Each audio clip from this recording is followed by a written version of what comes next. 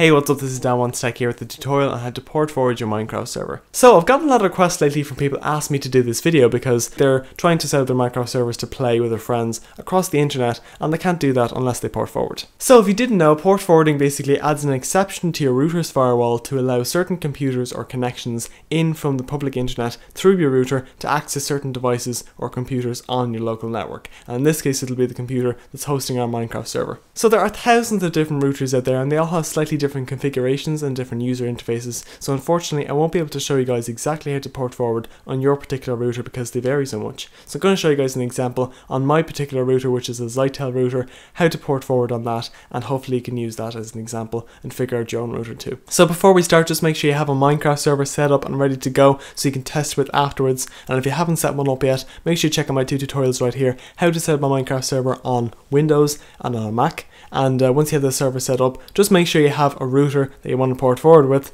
And uh, also note that this is independent of any operating system, so it doesn't matter if you have Windows, Mac, or Linux because you're not using your computer using the router itself. So let's go.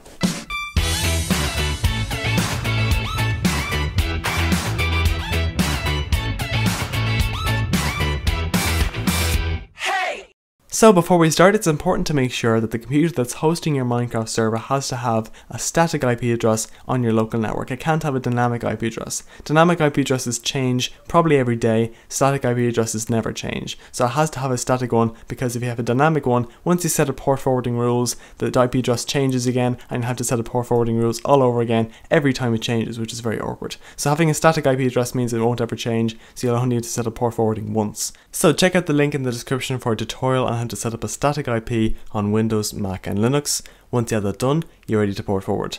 So I want to port forward my Minecraft server. The first thing I'm going to do is go straight to portforward.com to find out exactly how to port forward on my particular router model. And I'll talk a bit more about this website later.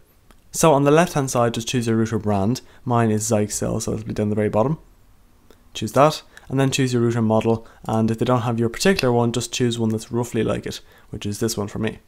And click search.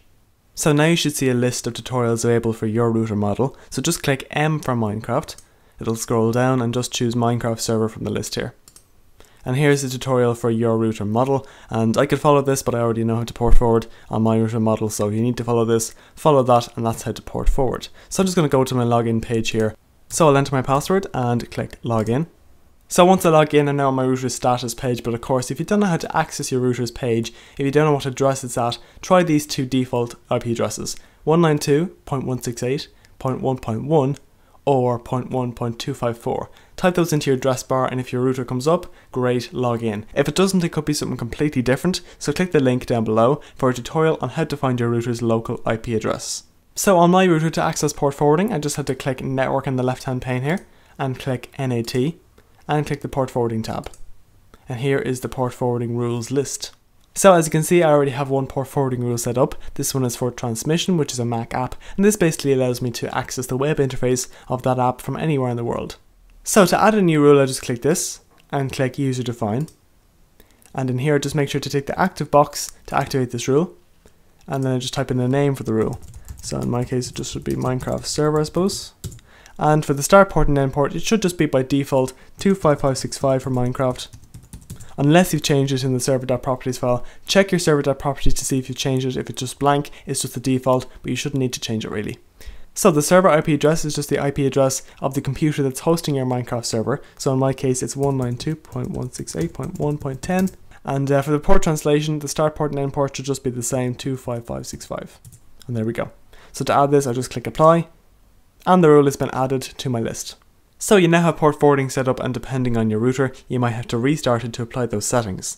So now we're going to test in Minecraft to see if it did work. So let's close down Minecraft and open your Minecraft server. I'm going to open mine here with start.command. And while that's opening, let's go into Safari and find our public IP address. Now, the public IP address is the IP address that your router has outside on the public internet. And that's needed obviously to connect in because now we've port forwarded, it'll work. So the easiest way to find your public IP address is just to type into Google my IP address, hit enter, and here it is right here.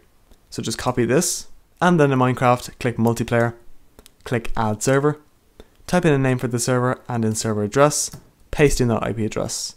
Click done, and as you can see, the server is working. So once you know your port forwarded public server works, you can give that IP address to your friends so they can connect to it from within Minecraft.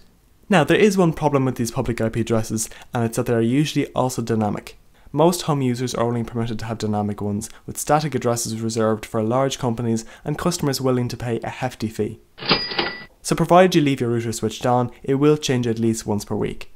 Now I'm not going to go through this in detail today, but what you need to set up to combat this is something called dynamic DNS. You'll be given a URL to use instead of a numeric IP address, and that will always point to your Minecraft server no matter how often your IP address changes, because the purpose of dynamic DNS is to track the changes.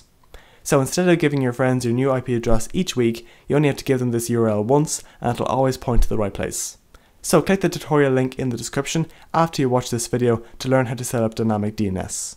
So that is just an example I had to port forward on my particular router. Hopefully you guys found this helpful and hopefully you can figure out your routers too because they can be a bit dodgy. So thanks for watching guys. Make sure you check out portforward.com which is a brilliant website on how to port forward on pretty much any router out there. Just select your router and then select what app you're trying to set up. In this case it'll be a Minecraft server. So it'll just tell you exactly how to port forward on your router. So check that out. The link is in the description. So thanks for watching guys. Make sure you subscribe for more and I'll see you next time.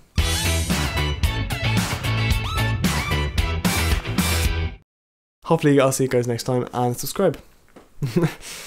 I messed that up.